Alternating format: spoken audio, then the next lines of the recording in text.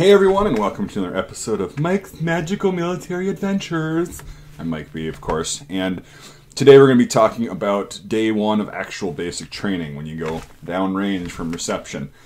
Um, we left off last time with the public video about just how reception was, just the two weeks of boringness and mind-numbing boredom and fights and all this stuff. And then the last video I made was actually a Patreon and channel member exclusive about the night before we shipped and what an incident that happened at that point that made me upset and made other people upset for different reasons. And um, yeah, so if you're a Patreon supporter or a channel member, you can view those every second or third one of these videos in this series where it's going to be a Patreon or channel member exclusive for a couple reasons. A, to reward people who are supporting my channel and allow me to make really cool content that I've been wanting to make for years and haven't been able to. Um, crowdfunding really does help with that, and then I don't have to take corporate sponsorships and make those annoying things. So self-funding and crowdfunding, that's a that's the way to go. That's how I want to keep it, and you guys are making that possible.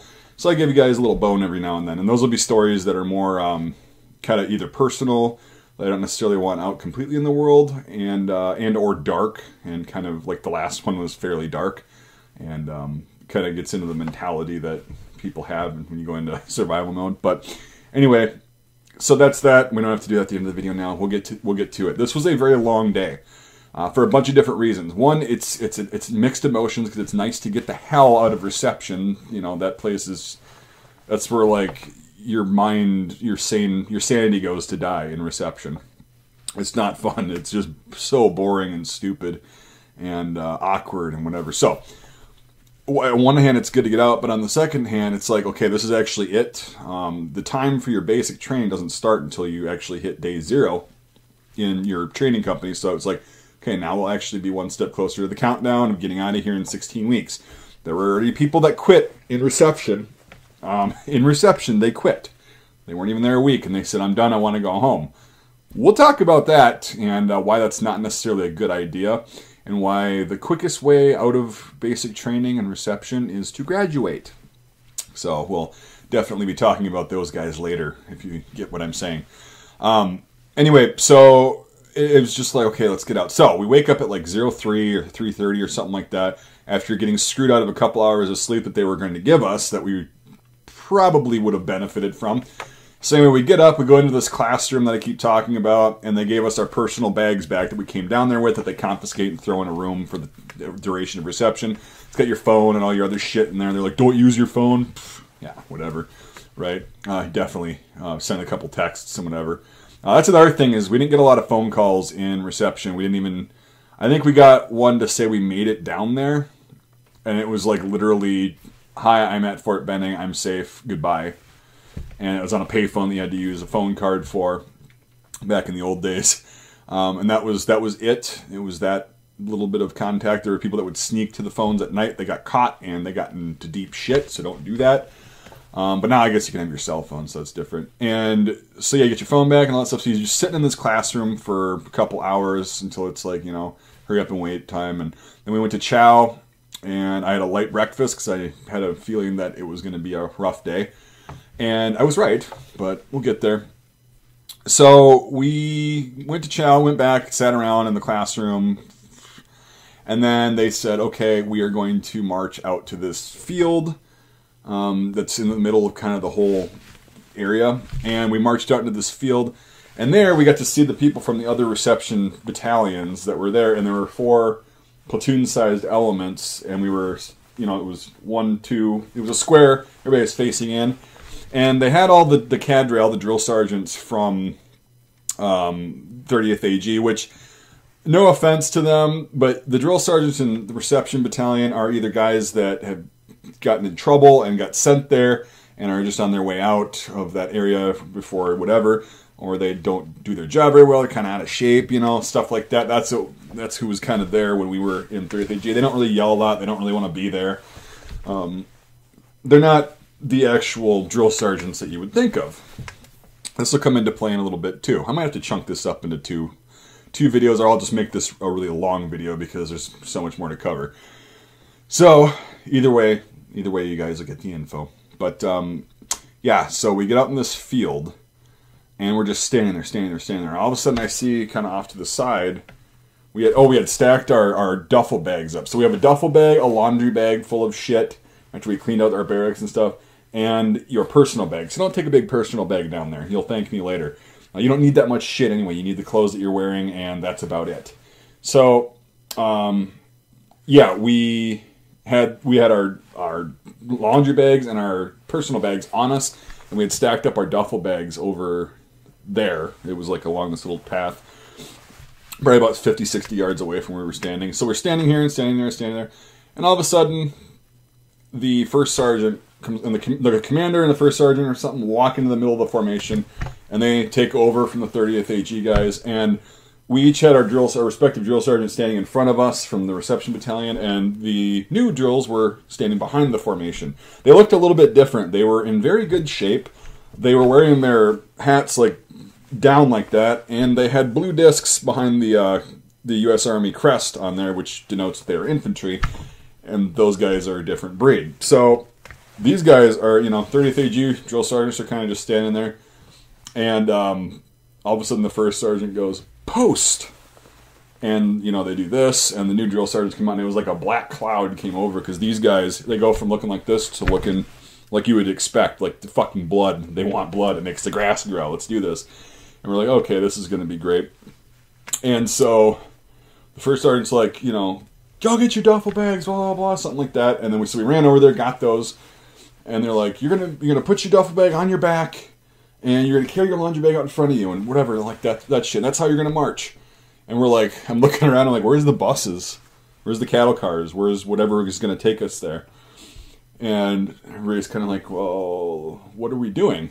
And all of a sudden, our senior, I ended up um, being in the platoon that was the first, says platoon left face, and he goes forward march. And we're like, okay, we're going up to the cattle cars, and all of a sudden the other platoons are following. So we go down this road, right, you know, whatever. I forgot the freaking commands already. Um, you know, right turn or right face or whatever. Or Jesus, I totally forgot that. It's been so long. And anyway, so we go right, and all of a sudden we go up left, and there's this giant ass hill that was.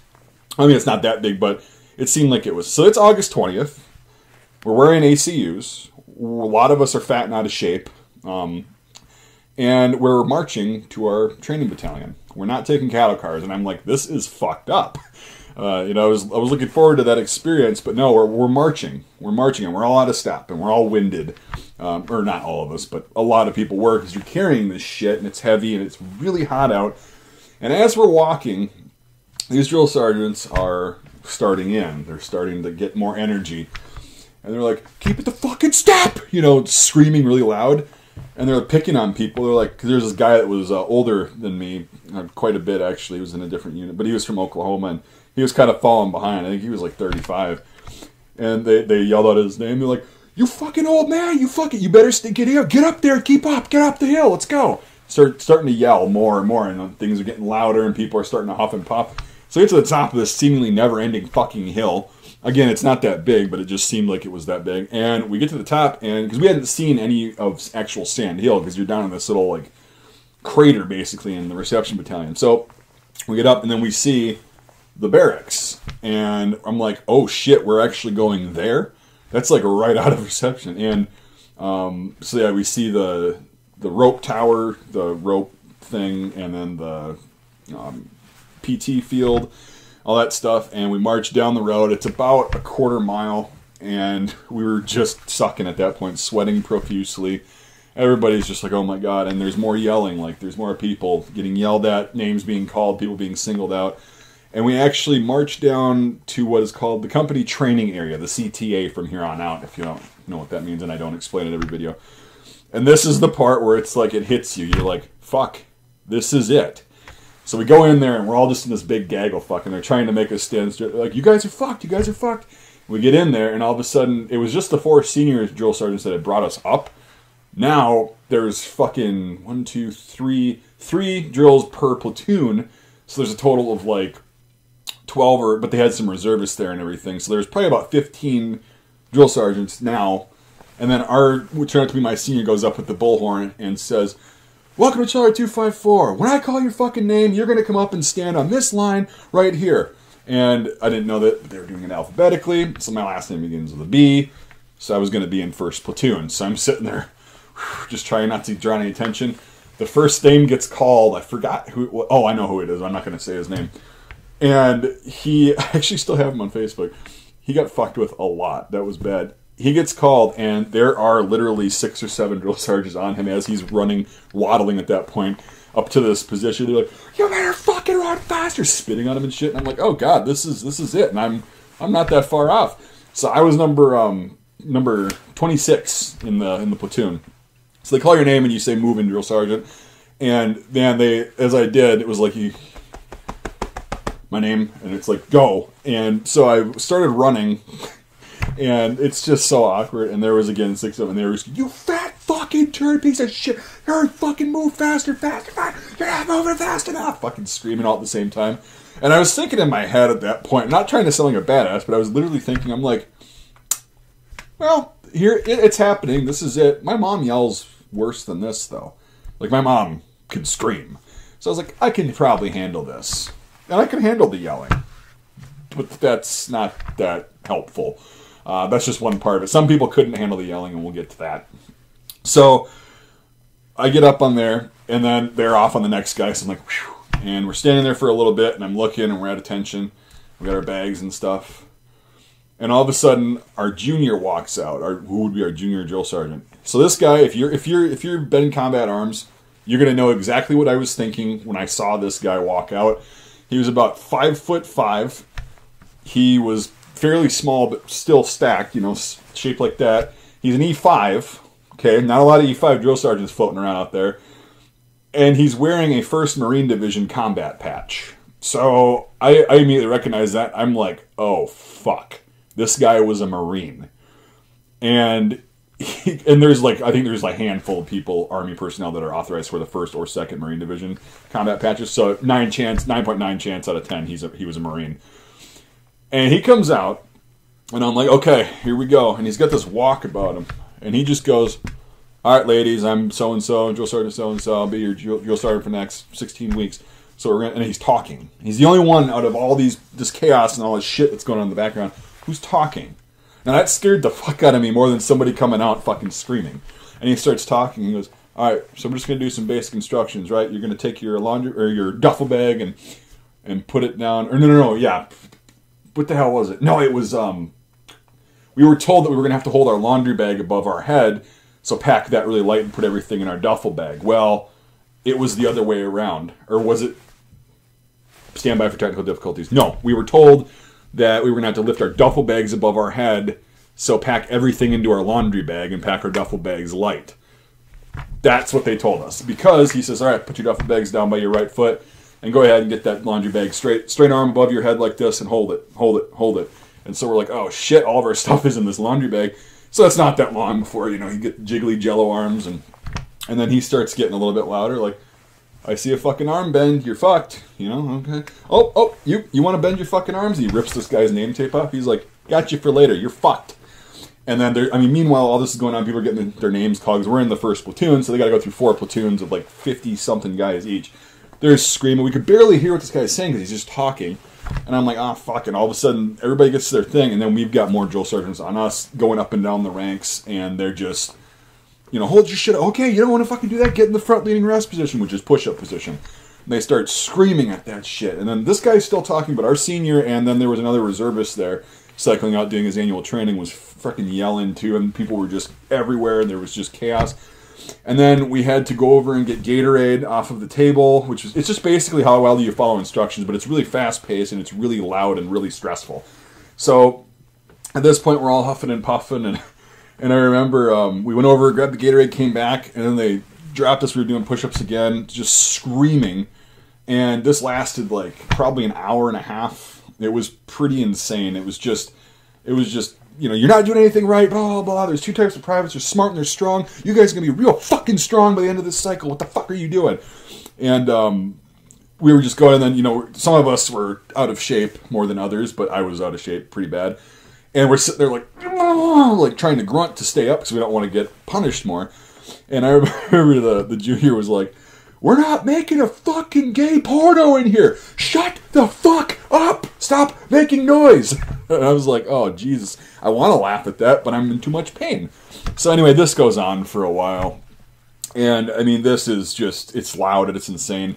And then we had to cycle through the phones as this was going on and call our parents to tell them we had arrived at our training and that we were going to be sending them a packet in the mail. There's this little script you read I'm safe, goodbye and we did that as they were screaming. I couldn't even hear. I forgot my phone card too. I packed it away, so I had to call collect, and it took me longer. And they were screaming, and they're, "You dumb fuck! Why don't you just have a fucking phone card? Hurry the fuck up!"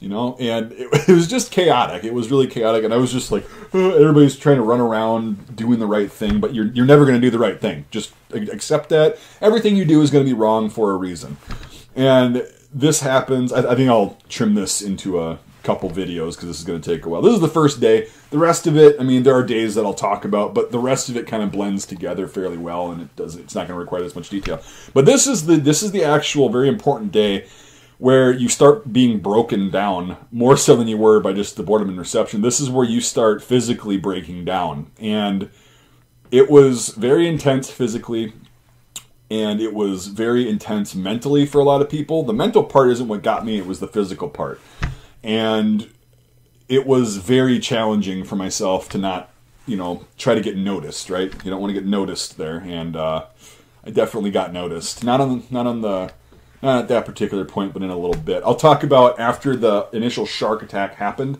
That lasts, you know, it, it lasts a while. and It seems like it's taking forever, and it's never going to end. And then we we ended up going up to our barracks, and then it's not probably what you'd expect um, it was it was interesting, but I'll talk about that in the next video because I want to keep these relatively you know under 20 minutes would be nice. I don't know how long I ran on those. So that is the shark attack. That the first part of it, the first day, that they don't do anymore um, because it's stressful or something. I don't know, understand why they do it. Again, I'm not one of these people that talk shit. Oh, back in my day, I'm just going to tell you what happened. It's different now. I don't know if it's better or worse. We'll see. Um, but yeah, it's just that was my experience and that was my perspective of what happened. It was interesting seeing people's reaction to getting yelled at, sometimes for the first time uh, in their lives, and it was very interesting to see how um, just different people reacted to stress, and that wasn't even like hardcore stress. That was, I mean, I guess to some people it was. Anyway, I'll talk about when we went upstairs into our barracks next, in the next video. Um, but yeah, that was basically the shark attack that you hear about. And it's a lot more stressful and stuff when you're there than when you just talk about it. It was it's the beginning of the end of your uh, civilian life at that point. That's when you know, you know, I'm sitting here going, I think most people do this. You just go, what the fuck am I here for? Why did I do this? Why am I here? What the fuck? Out of every place I could be in the world right now, I am here. And why is that? How the fuck did I get myself into this situation? But it's mental. It's a game. Don't say those words though. I'll, I'll make that an exclusive. Um, the next few days were pretty interesting and fun, so they'll be it'll be kind of stuck on that in segments of videos. But we'll go we'll do day or part two of day one in the next video. So thanks for watching, everybody, and we'll see you on the next episode.